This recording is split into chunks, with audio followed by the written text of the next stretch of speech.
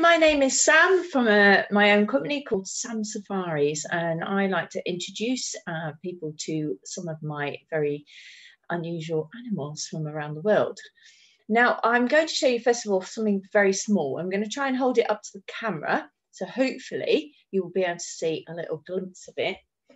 It is quite a small animal, but it's very interesting. It's called a Madagascar hissing cockroach. So Madagascar is a big island that's off of Africa. So it's lovely and warm. And you perhaps would have heard of ring-tailed lemurs. All the different lemurs actually come from Madagascar and they like to eat these.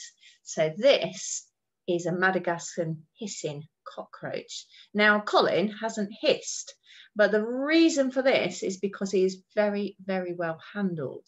So they only tend to hiss if they get a little bit scared and it is a good deterrent from predators because if they heard a hissing sound, they might think it's something different like a snake or a big lizard. And in fact, it's just Colin. So Colin has got a very unusual skeleton. He hasn't got bones inside his body at all. What he has is a layer of skin on the outside. It's called an exoskeleton. Now I can tell this is Colin because he's got two big horns on the top of his, where his head is, on top of there, the exoskeleton. And this looks like he's got two big eyes. Now he's got six legs, so he's classed as an insect. And insects don't have any ears, so he uses his rather long antennae for feeling, touching, finding food, and also picking up sound waves. On his little feet, he's got hooks so he can hold on to me really, really tight, but he can also climb. So I've got a piece of bark from a tree here. See if I can put him on there and I'll have a little climb, but also then you can see his lovely camouflage. There you go, up he goes. So really good at climbing. In fact, cockroaches can get almost anywhere. And if you've ever had them in your home, you will know this tiny little hiss there when I take, took him off the, the piece of wood. So if uh, if he wants to dig, he'll dig. The females would dig to lay their eggs, so they're really well hidden, and they're one of the creatures that can escape human uh, made and uh, natural disasters. So man-made and um, natural disasters. They dig really deep underground, would live on leaf matter and roots of plants. Now I'm going to put Colin away and I'm going to show you one other of my animals who is quite, uh, is a lot bigger, should we say, and would probably like to eat Colin the cockroach. So have to make sure that all the animals are put away in their correct little containers. They don't live in these small containers. I actually have a huge animal room, which is really nice and warm, set up for each and individual animal.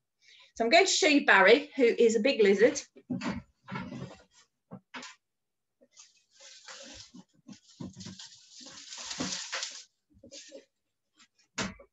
And Barry is called a blue tongued skink. So hopefully I might show you his big blue tongue in a minute. So I give him a little tickle under his chin. There you go, big blue tongue.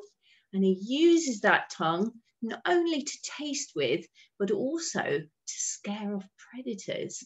So if he feels a little bit threatened, instead of hissing like the cockroach, he opens his mouth really wide and he waggles his big blue tongue about, hoping that a predator might be a little bit scared of a big blue tongue.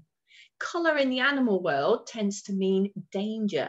So having a bright blue tongue hopefully would help him. But he's also got this amazing camouflage.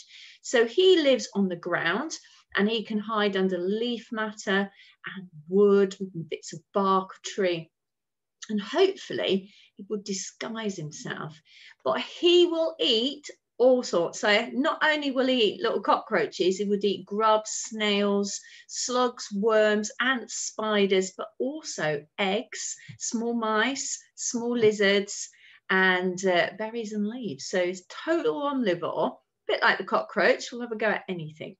So he comes from Australia, and Australia on my map over here Uh, is actually uh, such a very country. It's got very hot areas, really dry, arid areas. It's got grasslands, woodlands, rainforests, and mountain areas. And he comes from areas of woodland, grassland. And my auntie actually has one in her garden in Canberra. So it's not a pet one, it's actually a wild one. And she loves it because it eats all the slugs and snails. So they're quite fond of these types of lizards in sort of coming in to say hello into people's gardens because they keep all the other animals that tend to eat all their fruit and vegetables and their flowers. So he is very, very scaly. When you stroke him, you can feel each individual scale. And when he sheds his skin, we have to give him a little massage to get all that dead skin off his body. He would spend a lot of time rubbing his body against bits of wood and rocks to get rid of the dead skin and he's got a prehensile tail. So his tail actually helps him to balance, but also if he was clambering over something, felt he was going to slip, he would curl his tail around the piece of wood and hopefully not slip and hurt himself because he has got very tiny little legs. So he can clamber around, but he's not very good at climbing straight up. So only clambering over things. But he is very good at digging you will notice when he is on my map, he actually keeps his tummy very close to the floor and he almost slides along, mimicking a snake, which is also very clever because in Australia, there's some quite dangerous snakes. So all these things that animals do to protect themselves, very, very clever. So I hope that was a, a good introduction to just a couple of my animals and myself. And I hope to see you all soon. Thank you. Bye.